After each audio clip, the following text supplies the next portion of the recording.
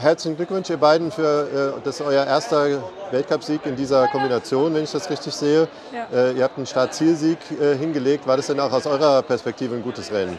Ja, also für mich war es auf jeden Fall ein sehr gutes Rennen. Wir sind auch eine für uns sehr gute Zeit gefahren heute und ähm, natürlich konnten wir immer gegenhalten, wenn die Ukraine äh, quasi uns nochmal angreifen wollte, dann konnten wir immer noch mal ein bisschen gegenhalten. Das war für uns eigentlich sehr gute, konstante Leistung. Ihr habt seit der EM nochmal umbesetzt. Ähm, funktioniert das denn jetzt besser oder äh, also ist es anders? Habt ihr mehr Dynamik? Wie, wie hat sich das für euch ausgewirkt?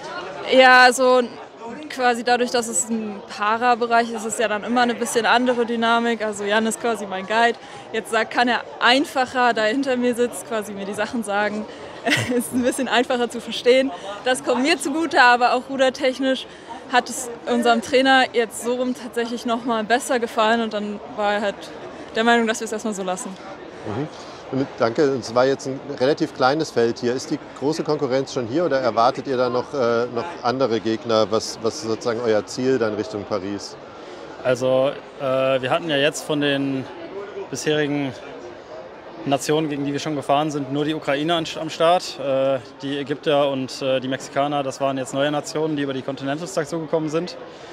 Aber international fehlt noch ein bisschen der, ja, die Messleistung mit den Australiern, die den momentanen Weltrekord halten, und den USA, die wir auch relativ stark einschätzen.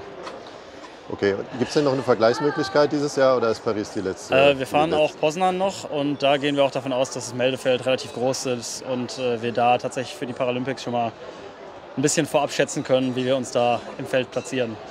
Prima, dann auch dort viel Erfolg. Vielen Dank. Dankeschön.